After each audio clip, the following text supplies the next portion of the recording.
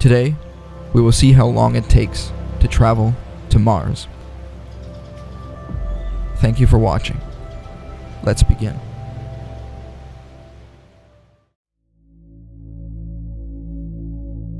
In its orbit, the closest Mars ever comes to the Earth is about 54.6 million kilometers.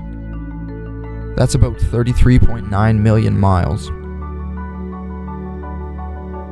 This is an important factor when planning a mission to Mars, because at its furthest distance, Mars orbits about 401 million kilometers from the Earth.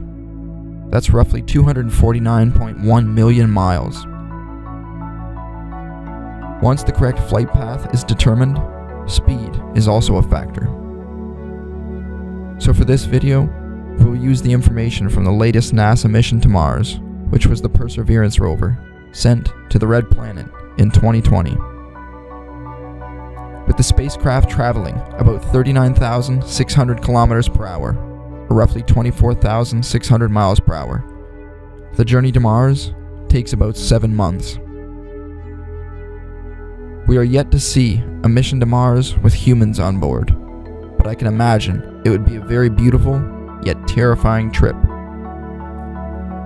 Simply traveling through the dangers of space in a confined area for seven months could take its toll on a human crew. And knowing they are traveling to a hostile environment where they cannot easily survive would be a whole new level of stress for them. It will be interesting to see how a crew is selected for potential missions in the future, and to see what these missions may have in store. Thank you for watching. Feel free to let me know your thoughts in the comments below. If you enjoyed today's video, feel free to show your support with a like and subscribe if you'd like to see more videos like this in the future.